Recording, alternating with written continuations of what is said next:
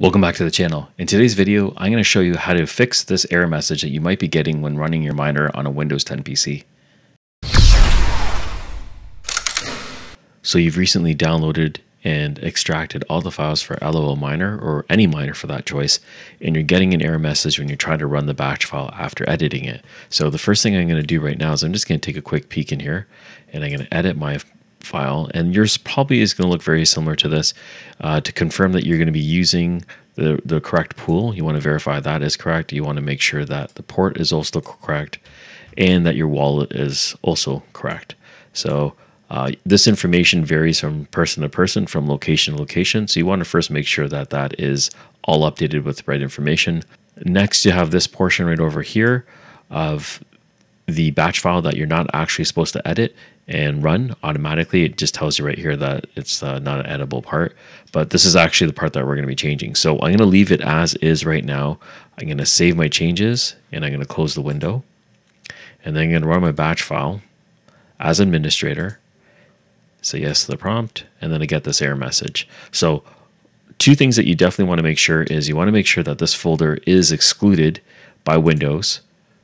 You want to make sure that in virus and threat protection under manage settings and under exclusions that your folder is in here and it's been excluded and it's allowed to run. If you have an antivirus software program or a firewall program or any type of security program that's blocking the application from running, that would be the first thing I would check.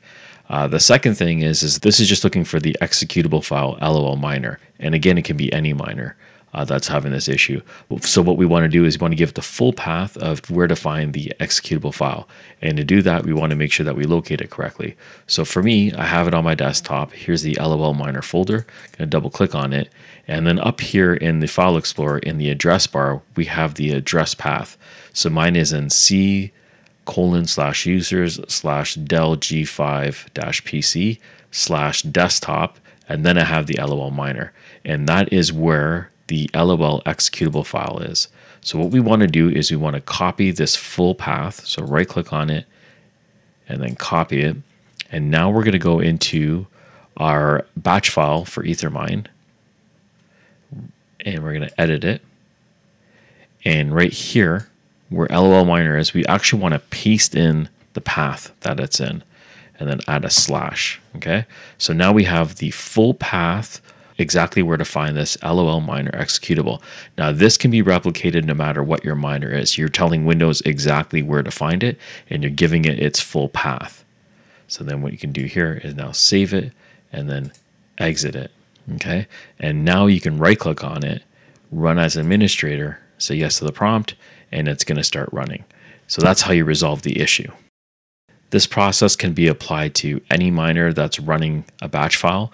What we're doing again is we're just showing Windows the full path of where the executable file is and then saving it into the batch file itself. If you have any questions, please put them in the comments below. Thank you for watching. I'll catch you on the next one.